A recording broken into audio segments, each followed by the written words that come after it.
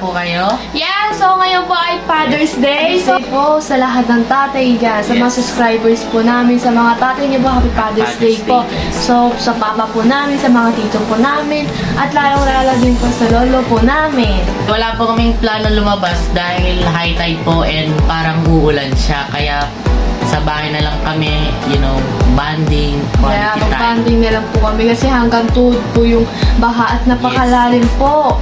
Guys, enjoy your day and Happy Father's Day ulit sa Yes, lahat Happy ng tatay. And bye!